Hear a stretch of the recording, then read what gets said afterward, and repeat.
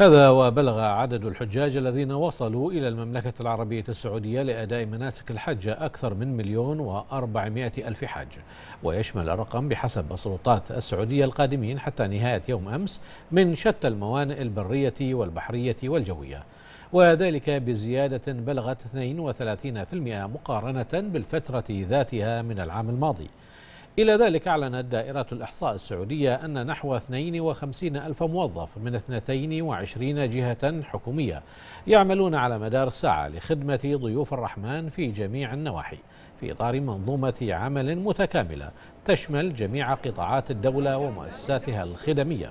وذلك لتقديم كل ما من شأنه خدمة حجاج بيت الله الحرام وتأمين كافة المتطلبات لتيسير سبل أداء الحجاج لهذه الفريضة بسهولة ويسر وطمأنينة.